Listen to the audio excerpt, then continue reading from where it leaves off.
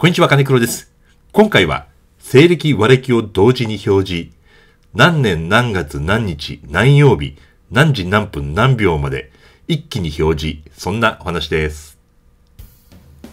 今年は2017年で平成29年です。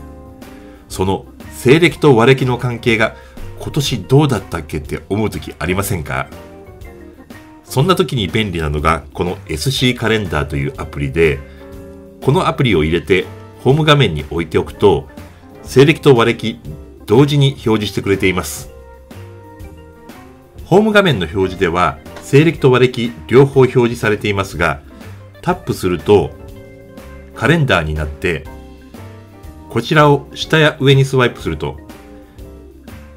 過去や未来にカレンダーを遡ることができます。またこの下の年をタップするとこんな感じで年齢早見表になったりそれぞれの西暦と和暦確認することができます。また戻ってこちらの真ん中のカレンダーの変更をタップすると大安友引きなどの暦が確認できます。こちらもスワイプして前後を確認することができます。また真ん中をタップしてカレンダーに戻ってその隣の小さなカレンダー表記をタップすると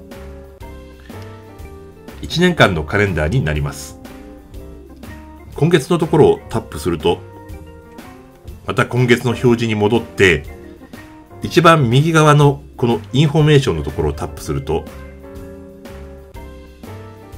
この SC カレンダーの設定画面になります。その中の下の方にアイコンバッジっていうのがあります。このアイコンバッジの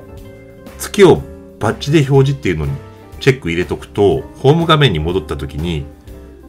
この西暦和暦の上のこのバッジが4月っていうことを表します。ですからアイコンを見ると西暦和暦と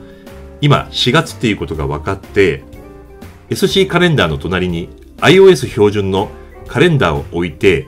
さらにその横に iOS 標準の時計を配置させておくと何年何月何日何曜日何時何分何秒まで一気に確認することができます。さっと iPhone を取り出したらこの何年何月何日何曜日何時何分までわかるっていうのはかなり便利な時があります。今回は西暦和暦を同時に表示。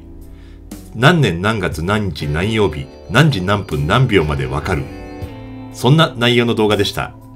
これからもまた便利なアプリご紹介していきますのでよろしかったらチャンネル登録よろしくお願いします。それでは。